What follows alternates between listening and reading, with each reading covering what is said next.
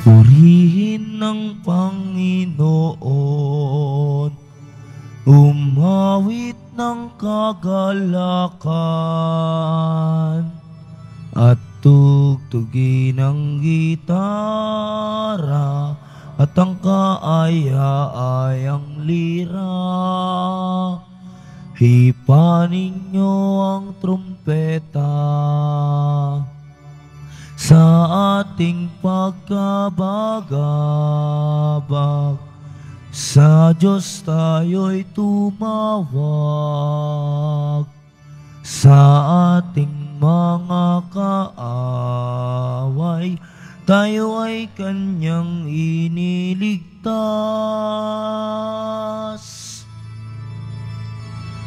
Purihin ang Panginoon, umawit ng kagalakan, at tugtugin ang gitara, at ang kaaya-ayang lira. Hipa ninyo ang trumpeta.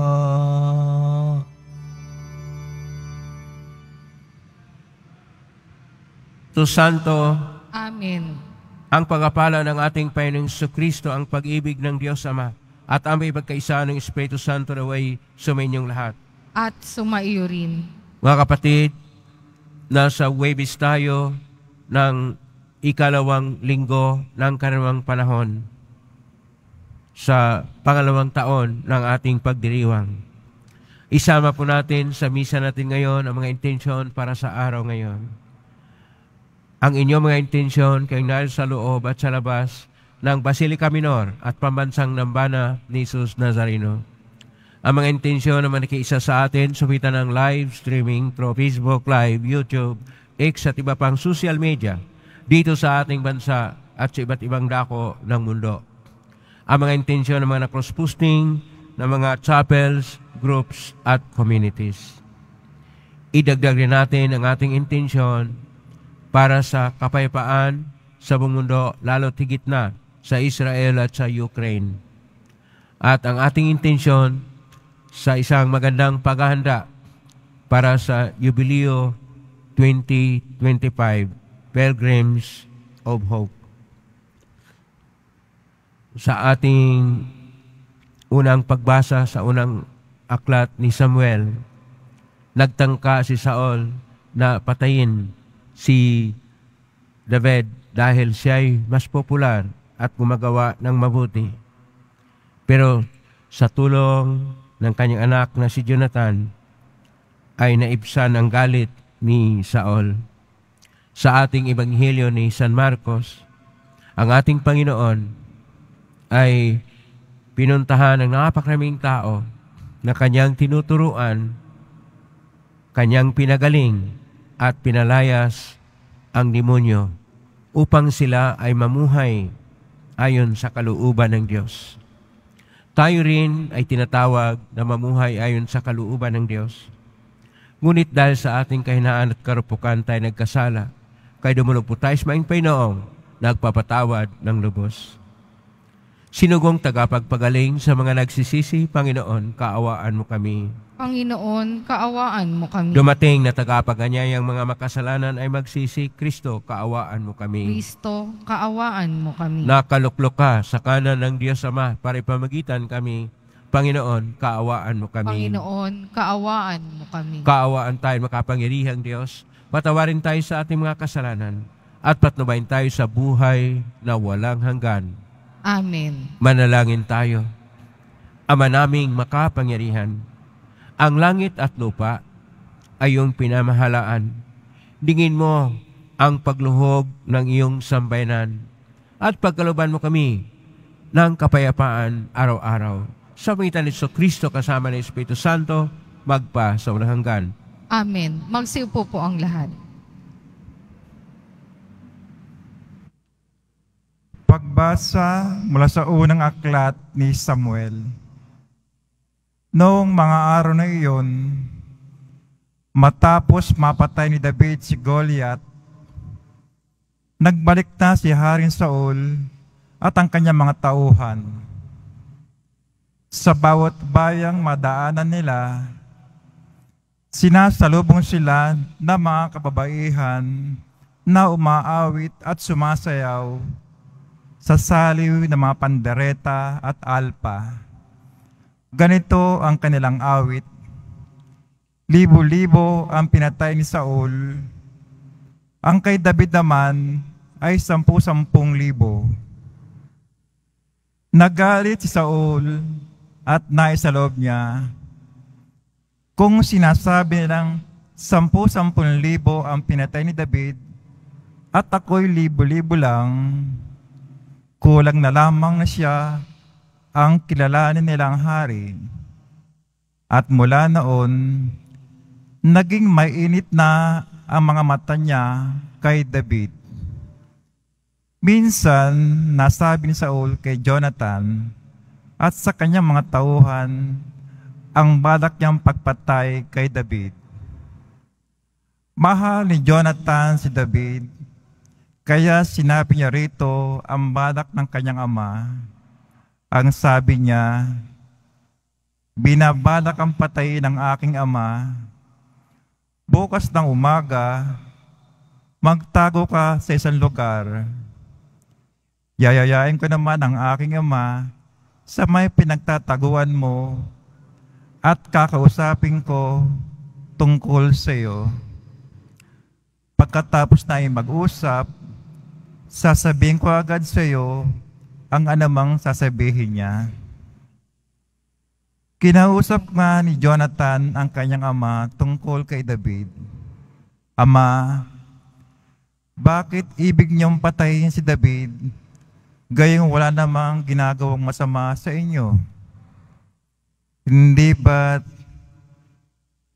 pinakinabangan niya siya ng mabuti? Ipinain niya ang kanyang buhay nang harapin niya si Goliath at nilob naman ng Panginoon na magtagumpay siya para sa Israel. Alam ninyo ito at inyo pang pinagdiwang bakit niyo siya papatayin gayong wala siyang kasalanan? Dahil dito, nagbago ang isip ni Saul. Sinabi niya, narinig ng Panginoon, hindi ko na siya papatayin. Ang sagot na ito ng hari ay sinabi naman ni Jonathan kay David, Isinama pa siya ni Jonathan sa hari at tulad ng dati, pinaglingkuran niya ito. Ang salita ng Diyos. Salamat sa Diyos. May tiwala ako sa Diyos, hindi ako matatakot. May tiwala ako sa Diyos, hindi ako matatakot. Maawa ka, Panginoon, ako iyong kahabagan. Lagi akong inuusig, nilulusob ng kaaway. Nilulusob nila ako, walang likat maghapunan. O kay rami nila, kayon sa akin, lumalaban. May tiwala ako sa Diyos, hindi ako matatakot. Ang taglay kong suliranin, nababatid mo ng lahat. Pati mga pagluha ko, may talaan ka ng ingat. Kung sumapit ang sandaling, ako sa iyo ay humibig. Ang lahat ng kaaway ko ay tiyak na malulupig. Pagkat akin nalalamang, Diyos ang nasa aking panig. May tiwala ako sa Diyos, hindi ako matatakot. May tiwala ako sa Diyos, pangako niya iingatan. Pupurihin ko ang poon sa pangakong binitiwan. Lubos akong umaasat, may tiwala ako sa Diyos. Kung tao ring katulad ko, hindi ako matatakot.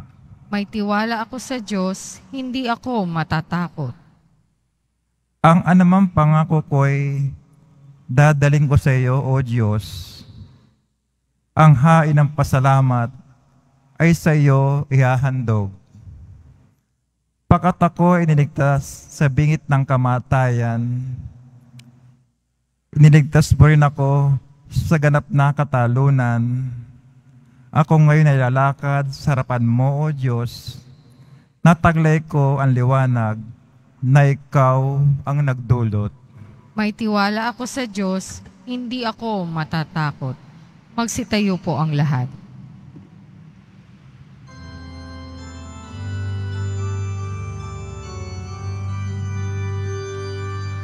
Alleluia.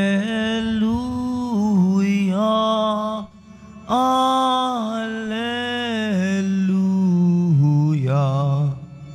Alleluia.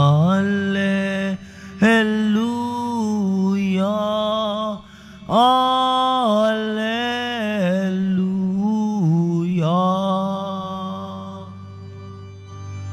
Si Kristo ay nagtagumpay. Nalupig ang kamatayan. Nagningning ang pagkabuhay.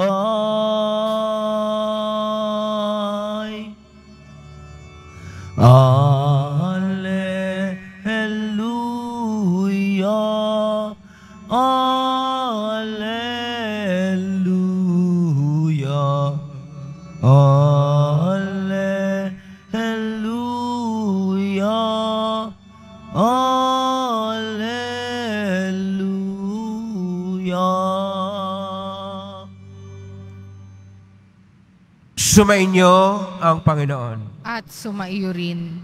Ang mabuting balita ng Panginoon ayon kay San Marcos. Papuri sa iyo, Panginoon. Noong panahong iyon, umalis si Jesus at ang kanyang mga alagad at nagpunta sa tabi ng lawa. Sinunan siya ng maraming taong buhat sa Galilea. Nagdatingan din naman ang napakaraming tao mula sa Hudiya, sa Jerusalem, sa Idumea, sa ibayo ng Jordan, at sa palibot ng Tiro at Sidon. Nang mabalitaan nila ang lahat ng ginawa ni Jesus, nagpahanda si Jesus sa kanyang mga alagad ng isang bangkang nga gamit niya upang hindi siya maipit ng mga taong dumaragsa. Marami na siyang pinagaling kahit pinagdumugan siya ng lahat ng may sakit upang mahipo man lamang nila. Bawat inalihan ng masamang espiritu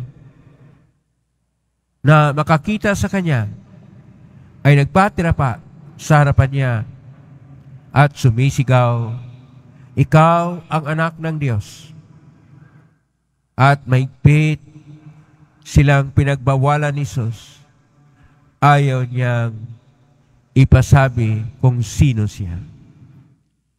Ang mabuting balita ng Panginoon. Pinupuri ka namin, Panginoong Heso Kristo. Magsiupo po ang lahat. Isang mapagpalang araw po sa inyong lahat. Purihin po natin ang ating pong Isus Nazareno.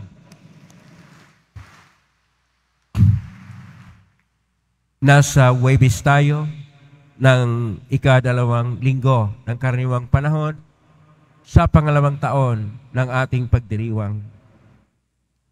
At ngayon po atin pong pag-usapan ang tungkol sa kapangyarihan ng Diyos laban sa kasamaan at sa demonyo. Ang demonyo o ang satanas ay kumikilos laban sa Diyos at gumagamit ng mga tao at gumagamit sa emosyon ng tao. Sa ating unang pagbasa, sa unang aklat ni Samuel, Kapitulo 18, verso 6 hanggang Kapitulo 19, versikulo 7, ito ay pinahayag na ang kapangyarihan ng demonyo ay sumasanib na kay Saul. Dahil nadala siya sa inggit. Nainggit siya dahil noong napatay ni David na isang bata lang ang dambuhala ng pagka nakakatakot na mangdirigma na si Goliath, sumasayaw ang lahat ng mga tao, mga kababaihan doon sa Jerusalem, nagpupuri sa Diyos. Pero isang libo lang para kay Saul, sampo-sampo naman, kalibo ang kay David. Na ibig sabihin, mas popular na si David. Dahil dito, nainggit si Saul. Hindi alam ni Saul na yung inggit, yung mga masama na emosyon, yung masamang balak, ay ginagamit na siya ng demonyo.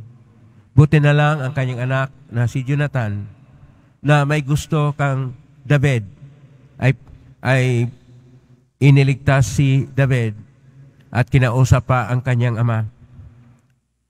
Pero ang tunay na nagligtas kay David ay ang Diyos. At ang pagtitiwala o pananalig ni David sa Panginoon ay naghatid sa kanya ng walang takot ayon pa sa Salmo 55 at dahil dito sa ating salmo sinasabi na malulupig ang lahat dahil ang Diyos ay nasa panig niya. Kung tayo'y nanalig sa Diyos, hindi po magkaroon ng kapangyarihan o influensya ang mga demonyo. Ang mga demonyo kasi sumasanib sa lahat ng tao na may gusto ng mga makamundo na bagay. Gaya ng, kapa, gaya ng kapangyarihan, kayamanan, o katanyagan. At dahil doon, marami pong tao ang nagkagusto na magkaroon ng kayamanan, magkaroon ng kapangyarihan, magkaroon ng katanyagan. Kaya lumalaganap yung kapangyarihan ng demonyo. Pero ang ating Panginoon ay nariyan. At nagbigay siya ng lakas ng lahat ng tao. Ang unang ginagawa niya ay pinagaling niya ang mga may sakit.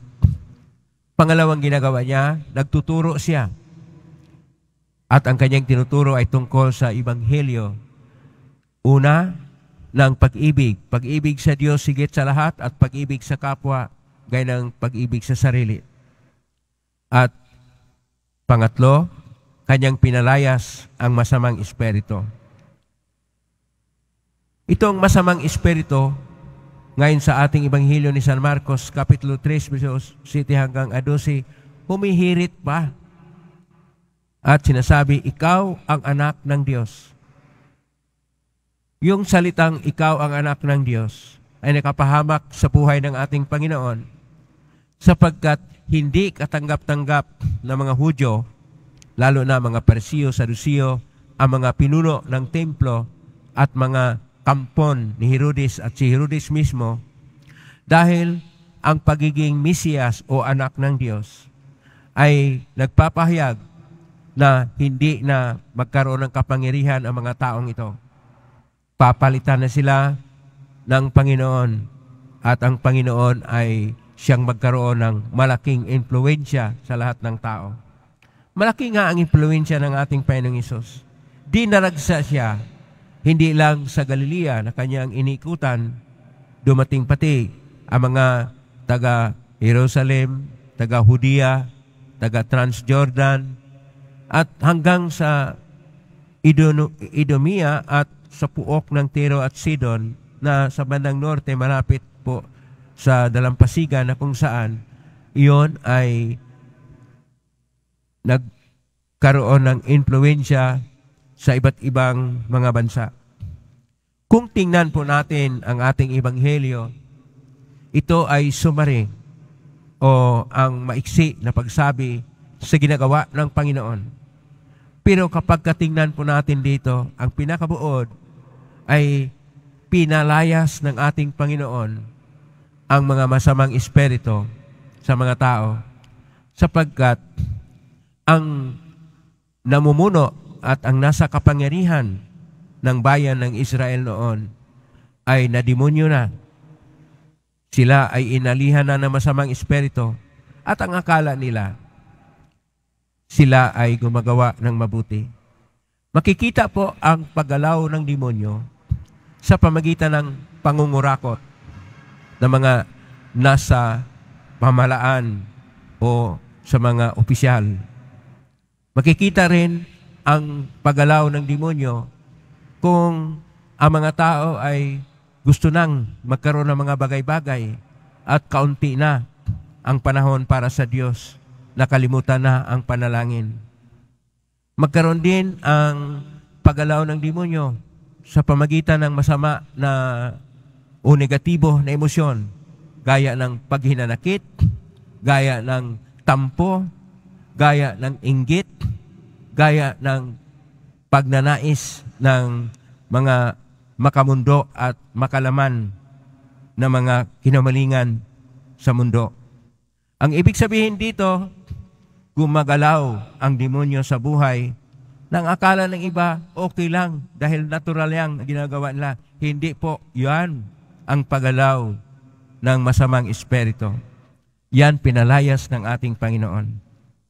At uh, kanya pong tinuturuan sila tungkol sa tama na daan. Ang tama na daan ay dapat mag-ahari at maging Panginoon ang Diyos sa ating mga puso at sa loob ng ating mga tahanan at kung saan man tayo, dapat ang Panginoon ay siyang sinusunod. Ang kalooban ng Diyos ay siyang ating sinusunod at ginagawa sa buhay at isinasabuhay. Kasi kuminsan, hindi na laman ng tao na kuminsan ang kanilang gusto, ang kanilang hilig, ang kanilang bisyo, ang kanilang makamundo na hangarin ay siyang pinapairal. Dapat sana yung para sa Diyos. Alam niyo ba na kung gusto natin, maraming paraan. Pero pag ayaw natin, maraming dahilan. At yun ang ginagamit ng demonyo, na marami tayong dahilan kung tungkol na sa kabutihan o tungkol na sa Diyos. Pero maraming paraan kapag ka pang sarili natin. Maraming paraan kung gusto sa kayamanan. Maraming paraan kung iyon ang bisyo natin. Kaya kinakailangan tayong mamuhay na matuwid. Sapagkat kung tayo'y matuwid, nagsasaksi sa katotohanan o totoo, tayo ay nasa Diyos. Lalayo ang demonyo. Sapagkat gusto ng demonyo na tayo mapalayo sa Diyos. Kaya, tingnan niyo muna sa mga bulsa ninyo. Kung kayo ba'y may mga bagay-bagay na makamundo, baka nangunguna dyan, cellphone, at nakalimutan na magkaroon ng rosaryo sa loob ng inyong mga bulsa. O kaya sa buong araw, baka mas maraming panahon pa, doon kayo nakatitig sa cellphone ninyo at hindi na nandoon sa panalangin at paggawa ng mabuti sa inyong buhay. Panahon na na dapat nating tingnan na tayo ay para sa Diyos at tayo ay magpapahayag ng pag-ibig at mananalig at panampalataya sa Diyos sapagkat siya naman talaga ang tagapaglikha natin. Siya naman talaga ang Diyos ng ating buhay. Siya naman talaga ang Panginoon na dapat siyang gagabay at siyang magtuturo sa atin ng daan. Kapag ka nag-iba na, ingat, ingat tayo dahil gumagalaw na ang demonyo.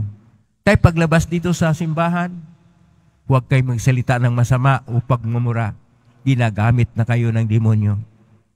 Huwag kayong mag-isip ng masama o kaya magkaroon ng masamang mga emosyon gaya ng tampo, inggit o sakit ng loob. Ginagamit na kayo ng demonyo kapag kaganyan. Kailangan natin ang isang positibo na paningin. At Diyos lamang at Diyos lang dapat ang siyang mamumuno, siyang gabay, patnubay, at liwanag ng buhay. Ulitin ko po, kung tayo ay may gusto, maraming paraan. Ngunit kung ayaw natin, maraming dahilan. Naway, ang gustuhin natin ay ang Diyos. At ang Diyos ang mumuno sa buhay. Amen? Purihin natin ang Diyos. Magsitayo po ang lahat.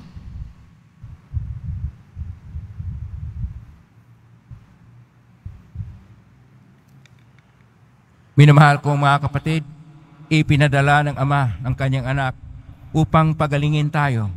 Manalig tayo na hilumin niya ang ating buong pagkatao. At atin pong itutugon, Ama, sa iyong pag-ibig, pagalingin at gawin mo kaming buo. Ama, sa iyong pag-ibig, pagalingin at gawin mo kaming buo. Ang simbahan sa pamamagitan ng kanyang mga nabumuno naway may tapang harapin at pasanin ang bigat at hamon ng pagbabago, manalangin tayo. Ama, sa iyong pag-ibig, pagalingin at gawin mo kaming buo. Sa mga taong nangangailangan ng tulong, naway huwag nating isara ang ating puso, manalangin tayo. Ama, sa iyong pag-ibig, pagalingin at gawin mo kaming buo. Ang mga nag-aalaga na mga may sakit, naway huwag silang mapagod at higit pa nila silang bigyan ng personal na atensyon at paggalang. Manalangin tayo. Ama, sa iyong pag-ibig, pagalingin at gawin mo kaming buo. Ang mga taong mayroon sakit na walang lunas at walang angkop na gamot, naway palakasin sila ng kanilang pananampalataya sa Diyos. Manalangin tayo. Ama, sa iyong pag-ibig, pagalingin at gawin mo kaming buo. Sa tahimik, idulog natin sa Panginoon ang ating mga sariling kahilingan. Diyos na mga buhay, tulungan mo kaming maipagpatuloy ang gawain ni Jesus na magasbas at magpagaling upang tunay naming maipahayag sa lahat ang mabuting balita. Hinaling namin ito sa pangitan ni Kristong aming Panginoon. Amen. Magsiupo po ang lahat.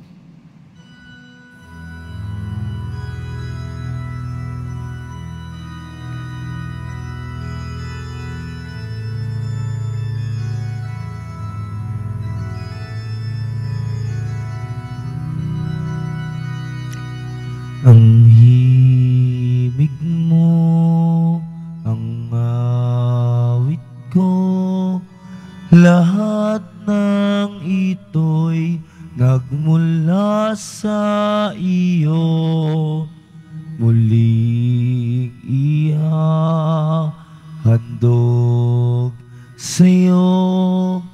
buong puso kong inaalay sa'yo.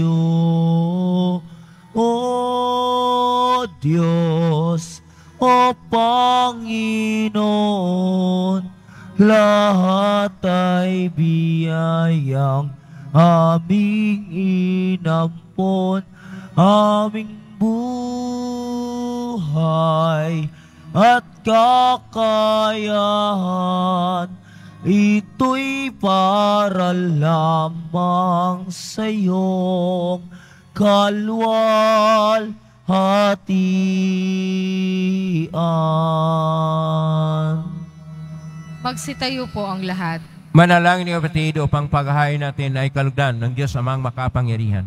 Tanggapin nawa ng Panginoon itong paghahain sa iyong mga kamay, sa kapurihan niya at karangalan, sa ating kapakinabangan, at sa buong sambayanan niyang banal.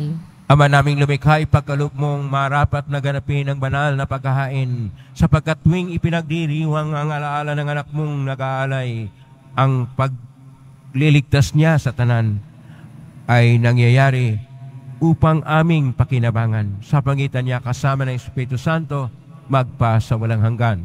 Amen. Sumainyo ang Panginoon. At sumaiyo rin. Itaas sa Diyos ang inyong puso at diwa. Itinaas na namin sa Panginoon. Pasalamatan natin ang Panginoong ating Diyos. Marapat na siya ay pasalamatan. Ama ng kapanento na marapat ni kay aming pasalamatan. Pinagbibigyan mong ito'y aming mahiyag kahit na ito'y walang anumang maidaragdag sa kadakilang sa iyo ay likas. Sa pagpupuri namin, nakikinabang ay kami rin yung pinakihirapan sa pangitan ng anak namin na mahal.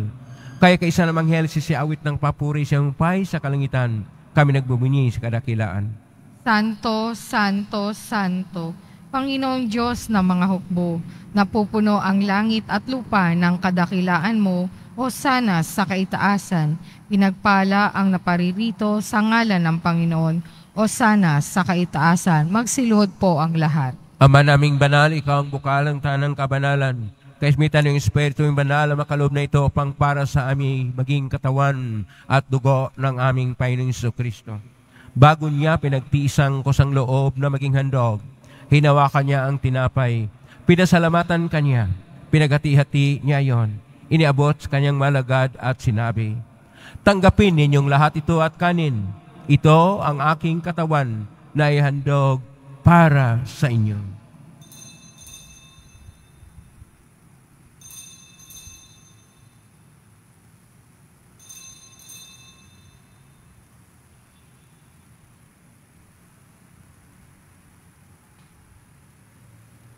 Gaya naman nung matapos ang hapunan, hinawakan niya ang kalis, muli kanyang pinasalamatan. Inabot niya ang kalis sa kanyang malagad at sinabi, Tanggapin ninyong lahat ito at inamin.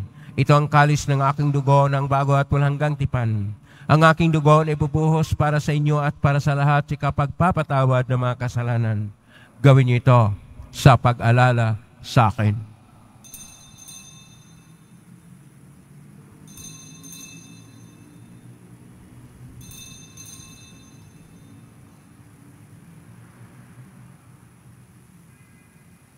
Magsitayo po ang lahat. Ang misteryo ng pananampalataya. Si Kristo'y namatay, si Kristo'y nabuhay, si Kristo'y babalik sa wakas ng panahon. Ama, ginagawa namin ngayon ang pag-alala sa pagkamatay at muling pagkabuhay ng anak. Kaya't inialay namin sa iyo ang tinapay na nagbibigay buhay at ang kalis na nagkakaloob ng kaligtasan.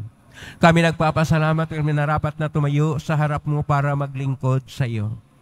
Isinasamo namin kaming magsasalo-salo sa katawan at dugo ni Kristo ay mabuklod sa pagkaisa sa pamagitan ng Espiritu Santo.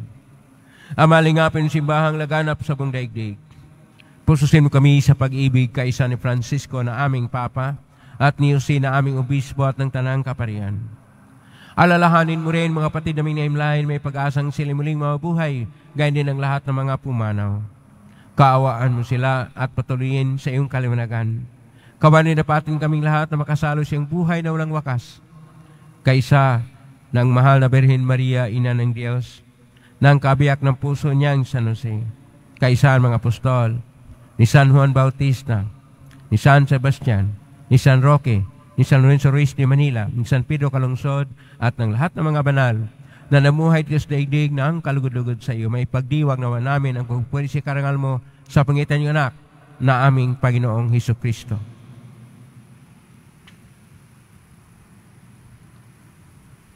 Sa pamamagitan ni Kristo, kasama niya at sa Kanya, ang lahat ng parangal at papuri ay sa iyo, Diyos amang makapangyarihan, kasama ng Espiritu Santo magpasawalang hanggan. Amen. Amen. Amen.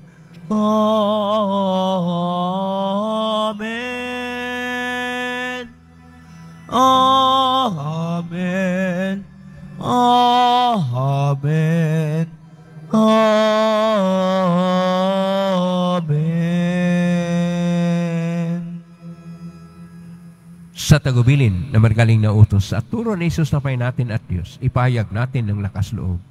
Ama namin, sumasalangit ka, sambahin ang ngalan mo, mapasa amin ang kaharian mo, sundin ang loob mo dito sa lupa para ng sa langit.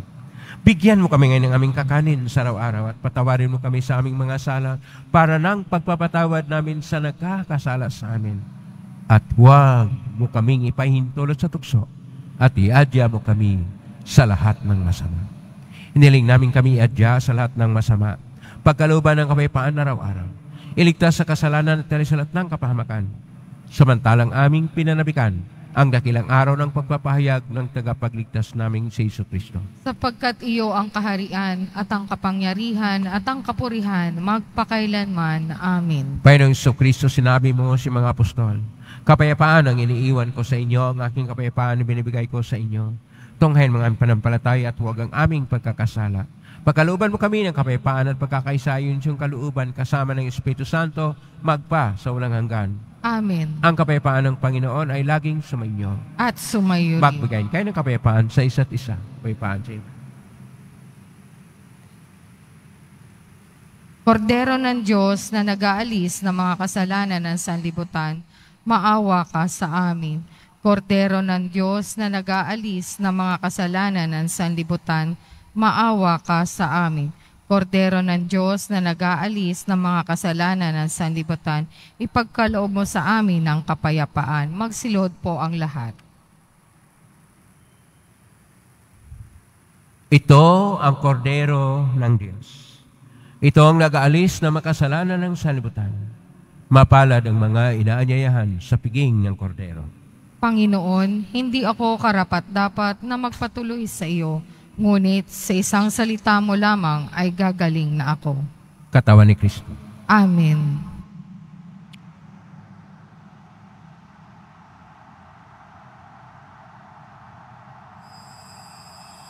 Para sa lahat ng tatanggap ng banal na komunyon, sasagot po tayo ng amin pagkasabi ng pari o ng lay minister ng katawan ni Kristo at isubo agad sa bibig bago umalis sa harapan ng pare o lay minister.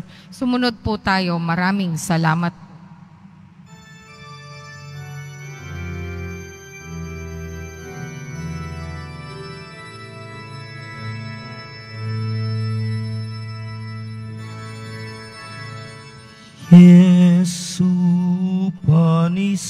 panis vite donum Patris Jesu fons vite fons vite aquae. Cibus et votus noster. Cibus et votus noster initinere initinere ad domus Dei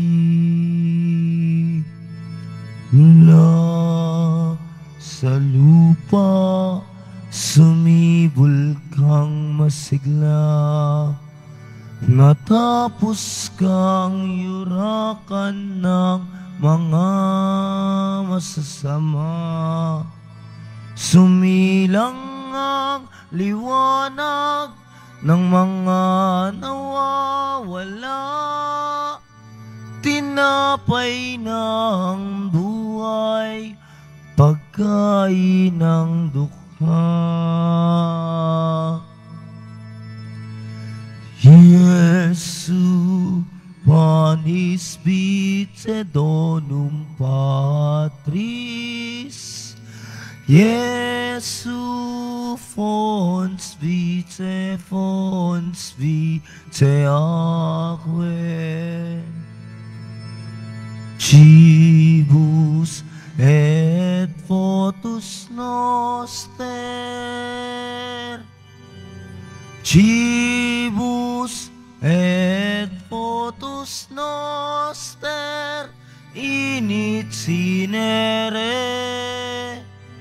initinere ad domus Dei.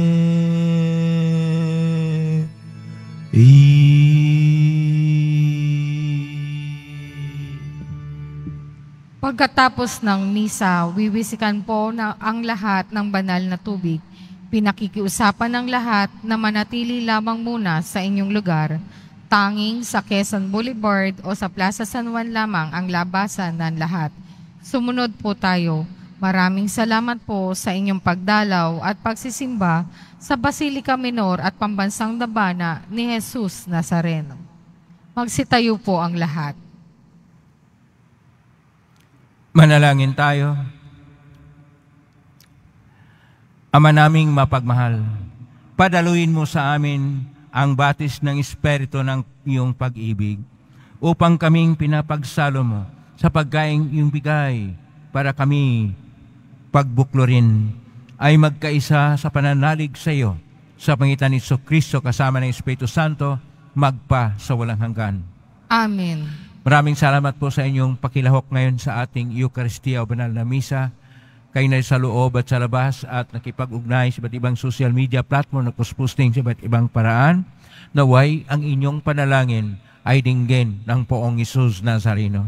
Salamat po sa lahat po na laging tumutulong sa Quiapo Church. So, pamakatulong ang Quiapo Church sa mga kapwa nating mga mahirap at nangailangan, lalo na yung mga tumutulong para sa I Thursday at sa lahat ng mga laging pumaparito at nagkaroon ng mga pamisa at mga ba't iba pang mga dulot o mga bigay upang tayo ay makapagpahayag sa ating pananalig sa Diyos, hindi lang sa ating mga salita, bagko sa gawa din at sa buhay.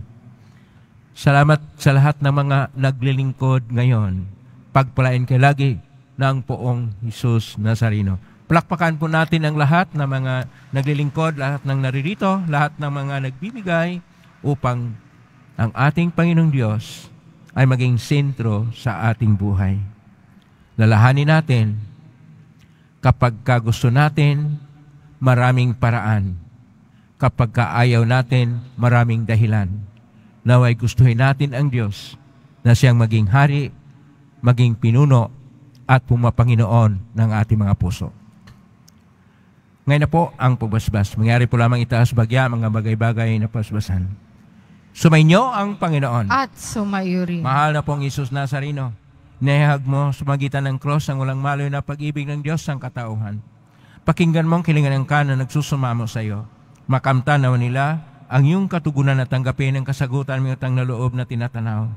Basbasan di po ninyo ang mga dalang imahin, dasal at mga bagay-bagay. Basbasan ang may mga karamdaman. Sa pangitan ng bedisyon ito na maalalang pangako nila noon sa binyag na ikaw ang ibigan at paglalingkuran bilang Panginoon magpa sa walang hanggan. Amen. Pagpalain kayo na makapangyarihang Diyos, Ama at Anak at Espiritu Santo, Amen. may kang taglayang kapayapaan, pag-ibig at pag-asa ng Pong Isus Nazareno. Salamat sa Purihin Diyos. natin ang ating Pong Isus Nazareno.